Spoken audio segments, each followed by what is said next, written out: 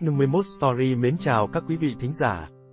Tam quốc quần hùng tranh bá, anh hùng hào kiệt tụ hội, cuối cùng Giang Sơn không phải do thuộc hán của Gia Cát Lượng, cũng không phải của Tào Ngụy, cũng không quy về Đông Ngô, mà quy về Triều Tấn do gia tộc Tư Mã kiến lập. Là người sáng lập ra cơ nghiệp nhà Tấn, Tư Mã Ý được mệnh danh là Trùng Hổ, tức là một con hổ ẩn mình trong mộ. Tài thao lược của ông ta khiến người thường không thể tưởng tượng nổi, vậy có những câu chuyện nào về ông? Triều Tấn do ông lập ra có 15 vị hoàng đế, tại sao con cháu ông không được hưởng phúc, lại còn bỏ họ tư mã? Vào những năm cuối thời Đông Hán, xã hội loạn lạc, thời thế Tào anh hùng, thời kỳ đó nổi lên rất nhiều anh hùng hào kiệt hô mưa gọi gió. Ngày hôm đó, tại hội trường, Nguyệt Đán Bình, ở Nam Dương, một thanh niên anh tài tuấn tú đang tranh luận với người chủ trì đến đỏ mặt. Người thanh niên này tên là Tư Mã Phu, là tam công tử của kinh triệu doãn Tư Mã Phòng. Mà, Nguyệt Đán Bình, này là một hội bình luận nổi tiếng khắp cả nước lúc bấy giờ, do hai người nổi tiếng là hai huynh đệ Hứa Thiệu và Hứa Tĩnh ở Nam Dương chủ trì. Hai người này giỏi bình luận các nhân vật đương thời, không thổi phồng, cũng không rèm pha, trí công vô tư, nên rất có thanh danh. Và bởi vì hồi bình phẩm này được tổ chức vào ngày đầu tiên hàng tháng, nên nó được gọi là Nguyệt Đán Bình. Khi đó hồi này rất có uy quyền, tựa như vai trò giám định của bậc thầy đồ cổ ngày nay, chỉ cần bậc thầy nói đó là một khối ngọc đẹp, thì giá trị sẽ tăng lên hàng trăm lần. Hứa Thiệu từng nhận xét rằng Tào Tháo là tướng tài thời Thanh Bình, anh hùng thời loạn thế. Chính điều này đã khiến Tào Tháo danh tiếng chấn tứ phương từ khi còn nhỏ. Và vào ngày đó, Tư Mã Phu đến đây với mục đích để hai nhân vật nổi tiếng này tự bình luận một chút về văn chương của mình, thể hiện một chút tài năng và nâng cao một chút giá trị của bản thân, dự định chuẩn bị ra làm quan. Tuy nhiên, người chủ trì không để mắt đến ông một chút nào, từ trên cao nhìn xuống, miệng nói thao thao, cho rằng Tư Mã Phu chỉ có khả năng chống đỡ, không có sức đánh trả, đánh trận sẽ thất bại. Lúc này nhìn thấy một thanh niên vẻ mặt bình tĩnh bước lên đài, anh ta cũng không nhanh không chậm, tâm bình khí hòa, cười với người chủ trì và nói, mạnh tử có câu, tận tín thư, tắc bất như vô thư. Ngô ư vũ thành, thủ nhị tam sách nhi dĩ hí. Nếu tin hết vào sách thà không có sách còn hơn. Trong chương, Võ Thành, này tôi cũng chỉ tin tưởng hai ba trang trong đó mà thôi. Bởi vì bài văn chương mà Tư Mã Phu lúc ấy viết liên quan đến nội dung của Thượng Thư, mà câu nói đó của Mạnh Tử, chính là nói, tin hết vào Thượng Thư thì thà không có Thượng Thư. Trong chương, Võ Thành, này tôi cũng chỉ tin tưởng hai ba trang trong đó mà thôi. Ngụ ý là, Mạnh Lão Phu Tử đã nói 500 năm trước, bản thân, Thượng Thư, cũng không phải là tin tưởng hết, thế nhưng là người chủ trì mà còn chỉ trích như vậy, thì có sức thuyết phục gì chứ? Câu này khiến người chủ trì lập tức sửng sốt, trầm mặc một hồi, không nói nên lời. Người thanh niên này là nhân vật chính của chúng ta trong số này Tư Mã Ý. Lại nói về phụ thân của Tư Mã Ý là Tư Mã Phòng, có 8 người con trai, mỗi người đều có chữ Đạt trong tên của mình, nên tám người họ được gọi là Bát Đạt, Tư Mã Phu này là Lão Tam, tự là Thúc Đạt. Tư Mã Ý là Lão Nhị, tự là Trọng Đạt. Cứ như thế, tin tức Tư Mã Ý khiến người chủ trì tại Nguyệt Đán Bình không nói nên lời được lan truyền nhanh chóng trong giới sĩ phu vào thời điểm đó. Tin tức truyền đi rằng Tư Mã Ý là thần đồng hiếm có, học nhiều, tài cao. Điều này quả thực rất đúng. Tư Mã Ý thời niên thiếu, thường xúc động lo lắng cho thiên hạ. Thường thư thôi Diễm có mối giao hảo với huynh trưởng của Tư Mã Ý là Tư Mã Lăng, và từng nói với Tư Mã Lăng, đệ đệ của ngươi thông minh hiểu chuyện, làm việc quả quyết, anh Tư bất phàm, mạnh mẽ hơn ngươi nhiều. Vào năm Kiến An thứ sáu thời Đông Hán, tức năm 201, khi Tào Tháo đang nhậm chức tư không, nghe được rất nhiều lời khen ngợi dành cho Tư Mã Ý, lòng yêu mến tài năng tự nhiên sinh ra, liền muốn chiêu mời Tư Mã Ý vào phủ của ông nhậm chức. Nhưng Tư Mã Ý nghe tin này rồi vẫn không chịu quy phục, điều này cũng chẳng trách được. Tư Mã gia này là hậu duệ của chất nội trọng lê của hoàng đế chuyên húc, từ thời viễn cổ đến thời nhà Thương, các thế hệ đều được kế thừa chức vị của hạ quan Trúc Dung, đến thời nhà Chu, thì họ hạ quan đổi thành Tư Mã.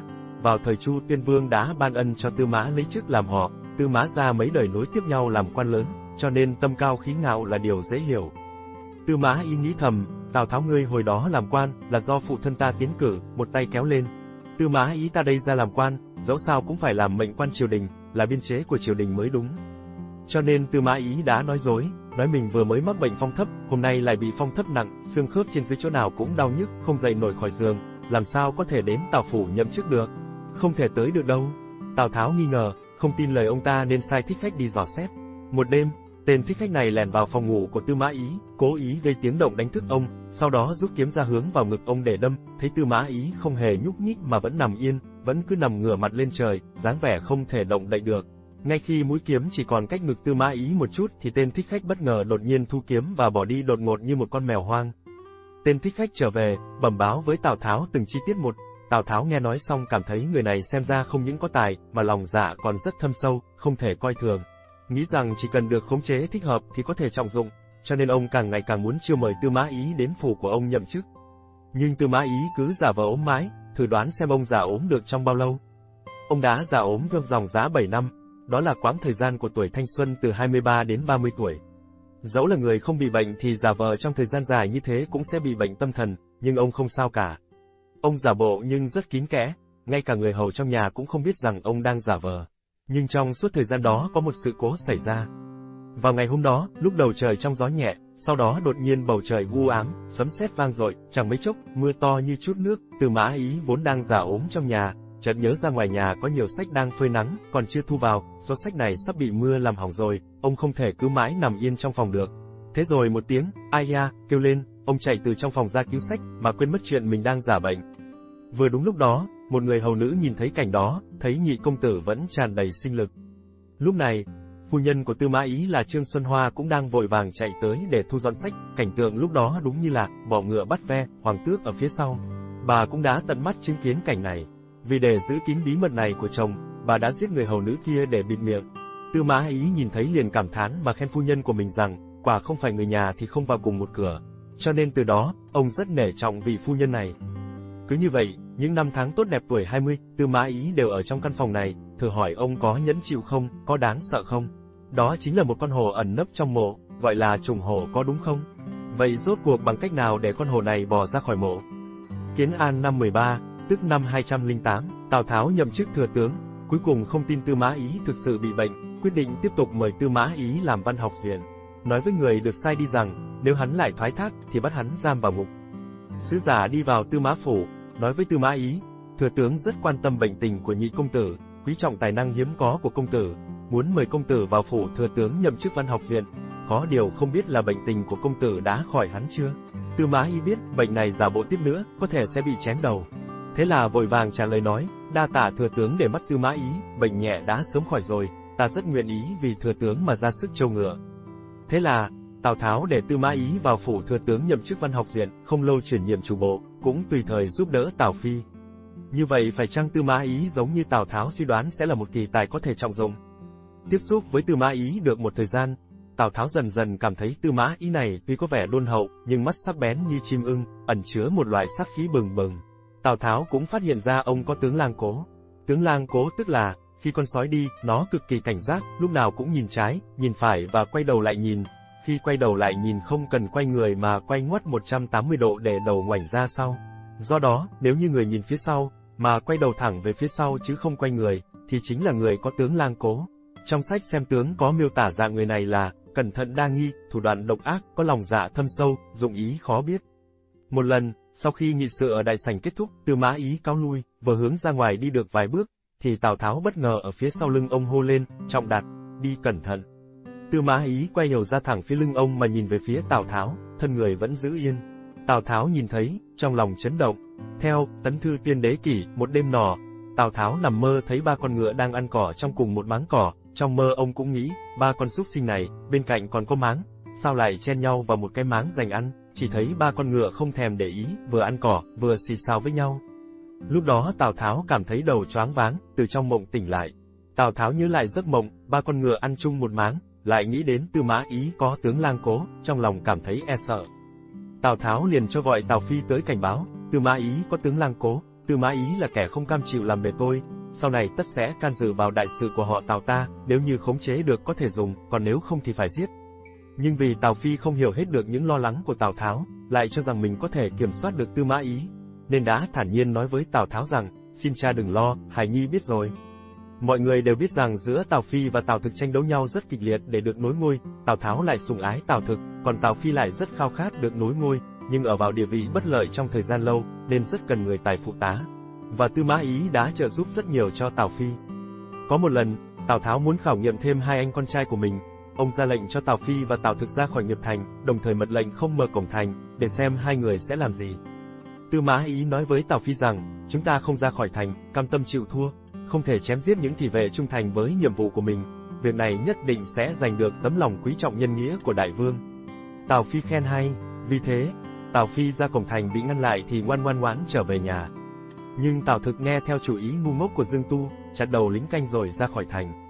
Kỳ thực Tào Tháo rất coi trọng cao phẩm chất khoan hậu nhân ái, và ông không muốn thấy người thừa kế của mình sát tâm quá nặng, nhưng trong lần khảo nghiệm này Tào Thực đã thể hiện ra sự tàn bạo, còn Tào Phi lại rất được ý cha. Tư Mã Ý nhanh chóng trở thành người thân tín nhất của Tào Phi, cùng Trần Quần, Ngô Chất, Chu Thước Tịnh trở thành tứ hữu của Tào Phi. Tư Mã Ý là mưu sĩ quan trọng của Tào Phi, Tào Phi lại luôn bảo vệ cho ông, mà Tư Mã Ý luôn cẩn thận trong mọi việc, dốc hết sức lực ở cương vị của mình đến quên ăn quên ngủ. Ngay cả những việc nhỏ nhặt như cho ngựa ăn cũng đều do ông tự thân làm, thời gian lâu rồi, khiến cho Tào Tháo cho rằng Tào Phi có thể khống chế Tư Mã Ý, nên dần dần giảm bớt tâm lý đề phòng với Tư Mã Ý. Vào năm Kiến An thứ 22, tức năm 217, Tào Phi cuối cùng đã giành được quyền nối ngôi và được lập làm Ngụy Vương Thế Tử.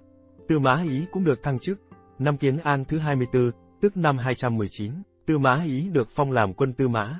Quan Vũ bắc phạt đến Phản Thành, nước sông Hán dâng nhanh, viện binh của Tào Ngụy bị lũ lụt nhấn chìm. Tào Nhân đóng quân ở Phản Thành chỉ có mấy nghìn quân giữ thành, vô cùng nguy cấp.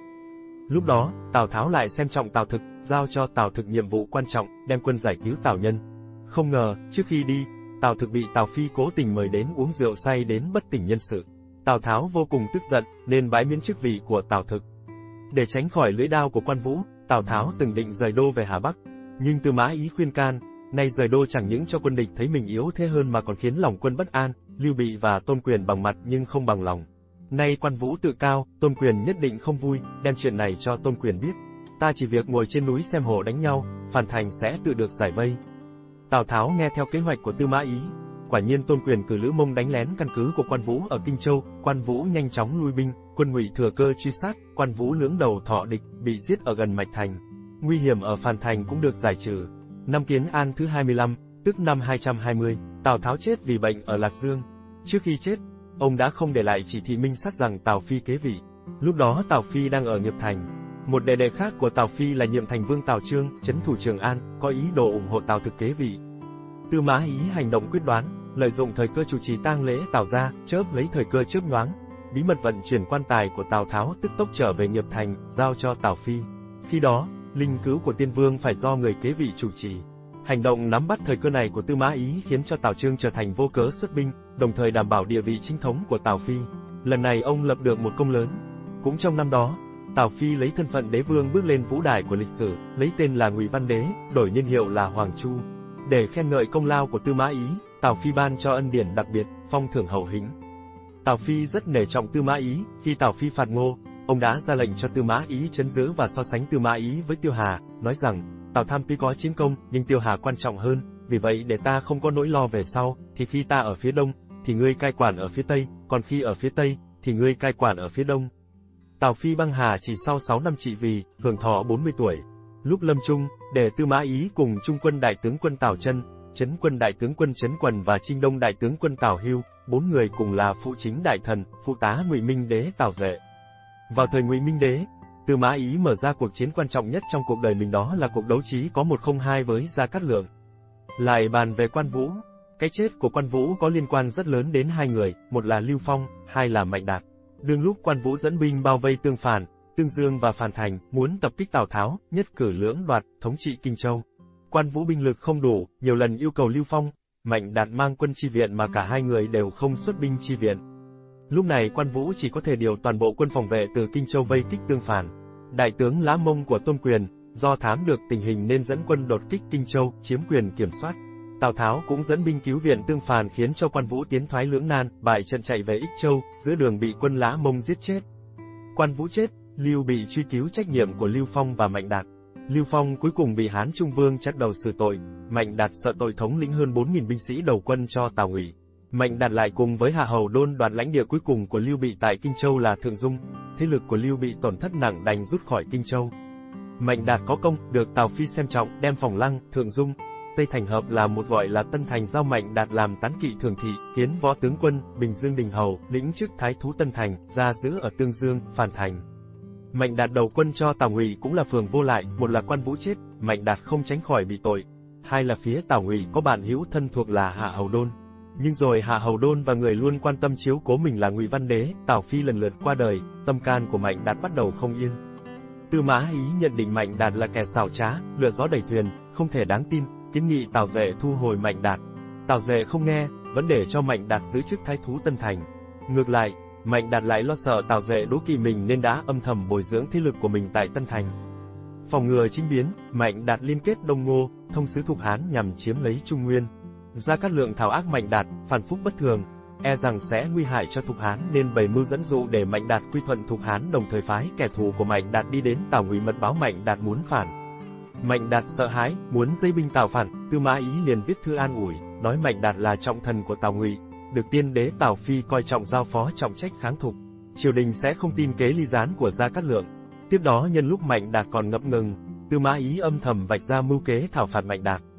Mạnh Đạt cho rằng Tào Ngụy còn tin tưởng mình nên do dự không quyết, viết thư cho Gia Cát Lượng nói, từ Uyển Thành đến Lạc Dương 800 dặm, đến chỗ ta là 1.200 dặm, tin ta khởi sự nếu chuyển đến Lạc Dương là 2.000 dặm, đi về cũng phải một tháng. Gia Cát Lượng nhận định Mạnh Đạt nhất định có cân nhắc, nên hãy cứ quan sát từ xa trước sau mới động thủ. Tư Mã Ý ngược lại cho rằng trong lúc Mạnh Đạt còn do dự nên tranh thủ thời cơ tiêu diệt nên tốc hành đưa đại quân ngày đêm hai tuyến trong 8 ngày đến Thượng Dung. Mạnh Đạt viết thư cho Gia Cát Lượng, khi thư còn chưa đến tay Gia Cát Lượng thì bị quân của Tư Mã Ý bắt được. Tư Mã Ý mở thư ra xem, giật mình nói, người giỏi trong đời, kiến thức giống nhau thực. Việc cơ mật của ta, Gia Cát Lượng đã biết rồi. May mà thiên tử Hồng Phúc bắt được tin này, thì Mạnh Đạt không làm trò gì được nữa. Liền dục giá quân sĩ bất kể đêm ngày tiến quân đến đánh Mạnh Đạt. Lại nói về Mạnh Đạt ở Thượng Dung, ba mặt áp sông, Mạnh Đạt cho quân cố thủ phòng vệ, Tư Mã Ý cho quân phá vỡ phòng vệ, lại chia quân thành tám lộ công thành, liên tiếp đánh trong 16 ngày đêm. Một hôm, Mạnh Đạt lên mặt thành đứng trông, thấy quân Ngụy Đông như kiến cỏ, vây kín bốn mặt, Mạnh Đạt đứng ngồi không yên, sợ hãi không biết nghĩ thế nào. Bỗng thấy hai đạo quân từ ngoài thành kéo đến, cờ hiệu đề gió thân đam, thân nghi. Mạnh Đạt tưởng họ đến cứu mình, vội vàng dẫn quân mở tung cửa thành kéo ra, ngờ đâu nghe tiếng đam, nghi quát lên rằng, phản tặc chớ chạy, mau mau chịu chết đi. Mạnh Đạt thấy việc có biến, quay ngựa trở vào nhưng bỗng trên thành có tên bắn xuống loạn xạ. Lý Phụ, Đặng Hiền ở trên thành hô lớn, bọn ta đã dâng nộp thành trì rồi. Mạnh Đạt nghe xong tìm đường tháo chạy, bị thân đam đuổi theo, đâm cho một nhát giáo ngã xuống ngựa, đam liền chặt lấy đầu, còn quân sĩ đều xin hàng hết. Trận chiến Tư Mã Ý thảo phạt Mạnh Đạt, hay còn gọi là trận chiến Tân Thành, là trận chiến sớm nhất mà Tư Mã Ý dụng mưu, đây cũng là trận chiến làm lên tên tuổi của ông. Tư Mã Ý trước tiên du ngủ đối phương sau đó tốc hành đem quân ngày đêm thẳng đến mục tiêu. Lộ trình đáng lẽ nửa tháng nhưng ông lại dùng có 8 ngày để đến, lấy yếu tố bất ngờ khiến cho đối phương không kịp trở tay, từ đó vang danh Tam Quốc. Sau trận chiến này, Tư Mã Ý bắt đầu có thêm nhiều cơ hội thống lĩnh ba quân. Sau khi Tào Chân chết, Tư Mã Ý lãnh đạo quân đội Tào Ngụy, ba lần kháng lại quân đội Gia Cát Lượng, Viễn Trinh Liêu Đông Bình Định Công Tôn Uyên, trở thành trụ cột Tào Ngụy. Sau bao năm chinh chiến, tích góp kinh nghiệm, khởi sự chính biến, khống chế Tào Sảng để cháu là Tư Mã Viêm thay nhà Ngụy xưng đế. Chúng tôi xin kết thúc bài chia sẻ của mình tại đây. Xin chân thành cảm ơn các bạn đã dành ra thời gian quý giá để lắng nghe bài chia sẻ này. Xin kính chúc quý thính giả cùng gia đình luôn luôn hạnh phúc, thành công và bình an trong cuộc sống.